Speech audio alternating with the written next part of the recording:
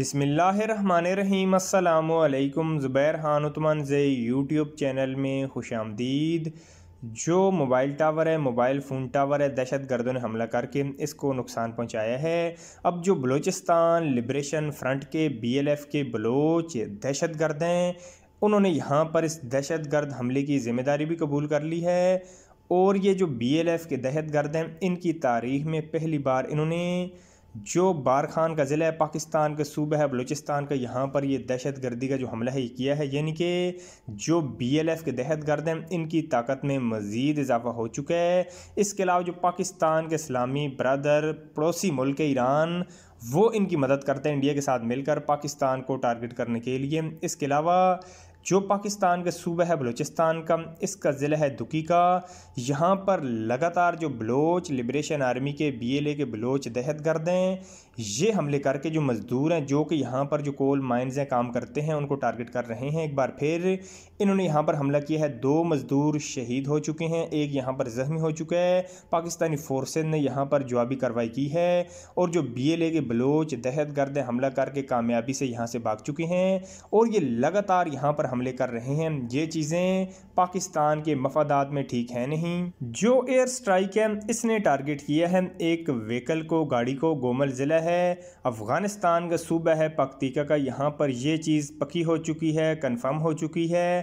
Afghani media بھی اس بارے میں انفارمیشن دے رہا ہے۔ اس بارے میں کل میں آپ کو بتا چکا ہوں۔ لیکن مزید یہاں پر جو اہم انفارمیشن ہے، یہ میں آپ کو بتاؤں گا۔ اب جو پاکستان کا ڈرون ہے، اس نے ہٹ کیا ہے جو ٹرک ہے اس کو۔ اس میں پاکستان پاکستانی طالبان کے دہشت گرد موجود تھے۔ Tehrik Taliban Pakistan T T P, ان کو پاکستانی طالبان بولا جاتا ہے۔ ترخائی کا علاقہ ہے جو گومل ضلع یہاں پر ان کو ٹارگٹ کیا گیا ہے۔ اس کے نتیجے میں آٹھ پاکستانی طالبان کے دہشت گرد یہاں پر مارے جا چکے ہیں۔ یہ چیز یہاں پر پکی کنفرم ہو چکی ہے۔ مزے کی یہ بات ہے، افغان طالبان یہاں پر ابھی تک خاموش ہیں۔ اس سے پہلے بھی پاکستان، افغانستان میں پاکستانی طالبان کو کئی بار ٹارگٹ کر چکا ہے اس بارے میں عالمی میڈیا نے بھی رپورٹ کیا ہے، لیکن افغان طالبان کئی بار خاموش رہتے ہیں۔ اس بار بھی افغان طالبان خاموش ہیں۔ اس کا جواب میں آپ کو دیتا ہوں، دیکھیں۔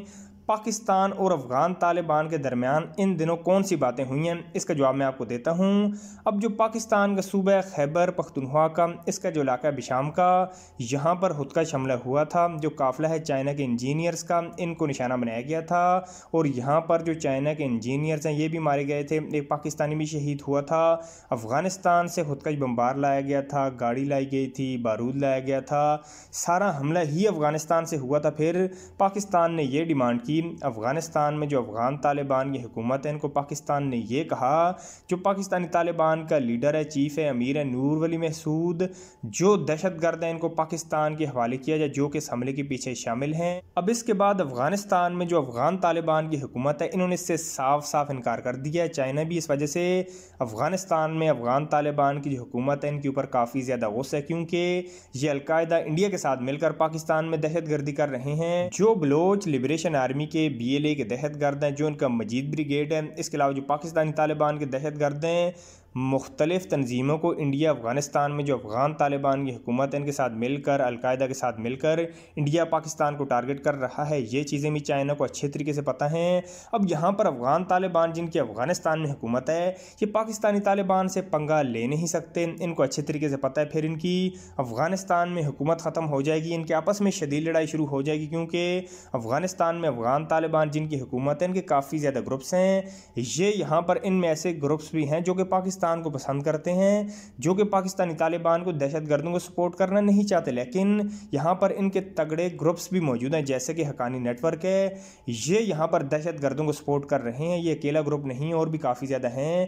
یہ یہاں پر جو طاقتور گروپس ہیں، دہشت گردوں کو سپورٹ کرتے ہیں پاکستان میں پڑوسی مالک میں دہشت گردی کرنے کے لیے۔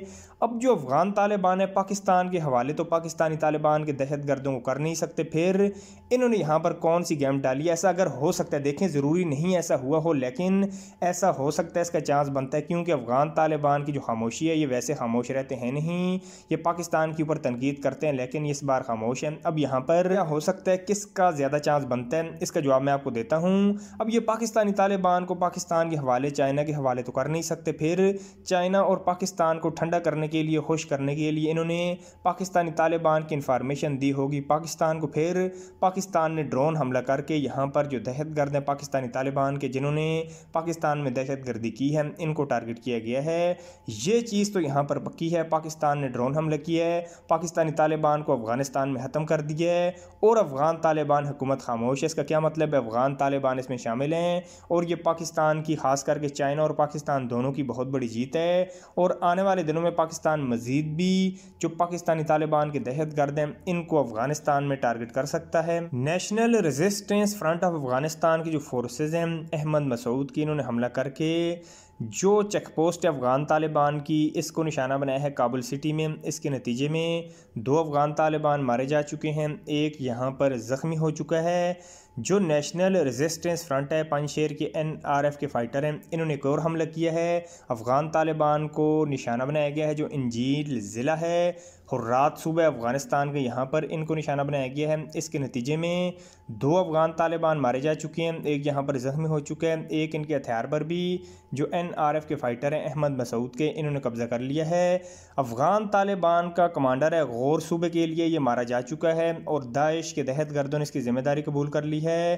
اور ملا حسن اس کا نام ہے، افغان طالبان کا بڑا اہم کمانڈر تھا، اس کا خاتمہ ہو چکا ہے۔ اسلامک سٹیٹ خوراسان چیپٹر نے آئی ایس کے پی نے اس کی ذمہ داری قبول کر لی ہے۔ افغانستان میں بھی حالات اچھے ہیں نہیں۔ اب نہار رکھیے گا، اپنے یوٹیوب چینل کے بھی۔ اللہ حافظ۔